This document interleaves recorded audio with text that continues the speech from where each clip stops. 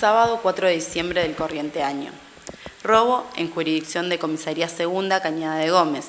Se comisiona personal policial a calle Valparaíso al Mil, aproximadamente, por haber un hecho ilícito. En el lugar son recibidos por la damnificada, una femenina de 35 años de edad, quien manifiesta que autores ignorados, tras forzar la reja de la ventana de su habitación, ingresan, causan gran desorden y sustraen dos ril de pesca y dinero en efectivo. Es dable destacar que la víctima no se encontraba en su domicilio en el momento del hecho. Domingo 5 de diciembre del corriente año. Hurto en jurisdicción de Comisaría Primera Cañada de Gómez.